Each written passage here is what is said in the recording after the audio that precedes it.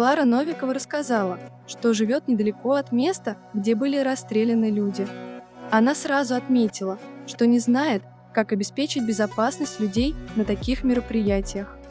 Клара Новикова добавила, что на концерт группы «Пикник» были проданы все билеты. Люди приходили туда с детьми. Никто даже и не подозревал, что может случиться такое.